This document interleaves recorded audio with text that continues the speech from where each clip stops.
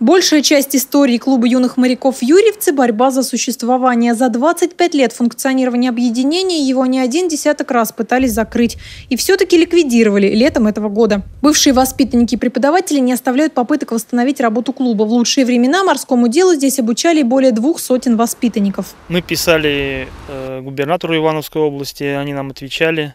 Не, устраивает то, что ничего не делать с нашими властями. Наверное, скорее всего, юрьевецкими. Хотим, чтобы работал клуб как работал раньше, как бы, ну, наверное, это уже не будет. Хотя бы сделали так, чтобы он существовал. Просто существовал как, как, как отдельная организация, не подвластная ДЮЦ.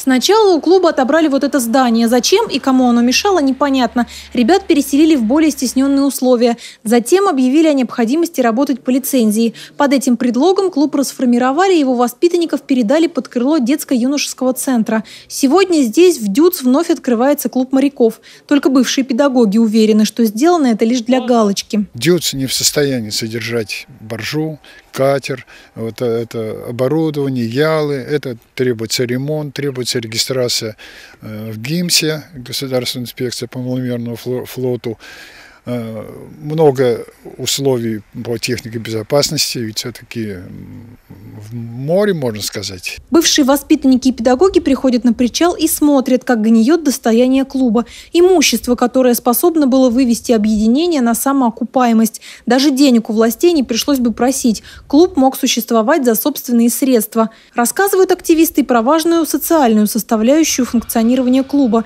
Его раньше посещали дети из неблагополучных семей, проникали увлекались волжской романтикой и перевоспитывались. Дети остались, как бы, получается, и без дома, без денег, которые были выделены на ремонт здания.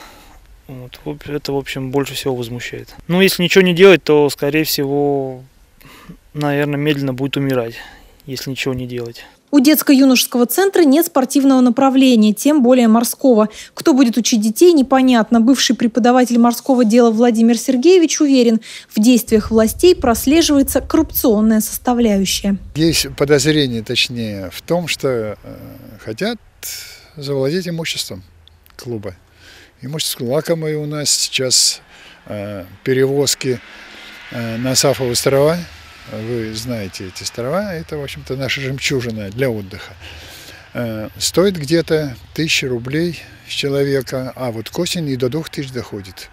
Так что совсем неплохо бы тут, конечно, кому-то прибрать эту базу. Новую волну негодования вызвало объявление, размещенное на одном из сайтов. Здание клуба продают без посредников за 9 миллионов рублей. Активисты Совета ветеранов клуба немедленно обратились в областную прокуратуру. Вспоминается знаменитая история, когда закрывали Центр детского юношеского туризма, где само по себе здание понадобилось фармаци... фармацевтической фирме, которая там, собственно говоря, сейчас и находится. При этом другая половина здания осталась гостиницей.